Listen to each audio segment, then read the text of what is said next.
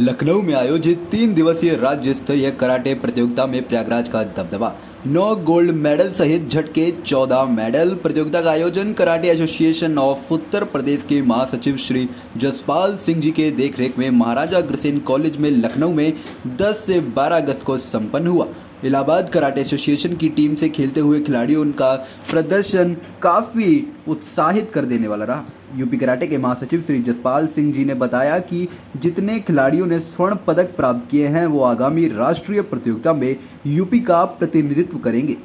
पुरुष team coach Arvind Kumar, महिला team coach Uma Sen तथा रेफरी राजेश कुशवाहा, निर्णायक रामदयाल यादव को इनके उत्कृष्ट योगदान के लिए स्मृति चिन्ह देकर सम्मानित किया गया।